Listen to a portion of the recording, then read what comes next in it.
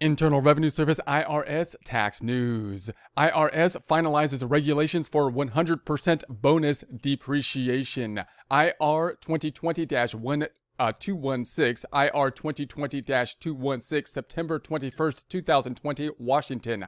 The Treasury Department and the Internal Revenue Service today released the last set of final regulations. There's a link to that here. It's a PDF link implementing the 100% additional first year depreciation deduction that allows businesses to write off the cost of most depreciable business assets in the year they are placed in service by the business. The 100% additional first year depreciation deduction was created in 2017 by the Tax Cut and Jobs Act and generally applies to depreciable business assets with a recovery period of 20 years or less and certain other property, machinery, equipment, computers, appliances, and furniture generally qualify. The deduction applies to qualifying property, including used property acquired and placed in service after September 27, 2017. The final regulations provide clarif- clarifying guidance on the requirements that must be met for property to qualify for the deduction, including used property. Additionally, the final regulations provide rules for consolidated groups and rules for components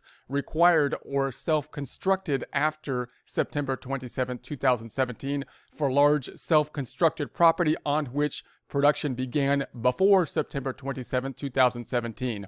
For details on claiming the deduction, see the final regulations and instructions to Form 4562 Depreciation and Amortization, including information on listed property. There's a link to that here. In addition, the Treasury Department and the Internal Revenue Service plan to issue uh, procedural guidance for taxpayers to opt to apply the final regulations in prior taxable years or to rely on the proposed regulations issued in September 2019. For more information about this and other TJ, TCJA provisions, visit irs.gov forward slash tax reform. There's a link to that here. There'll be a link to this in the description.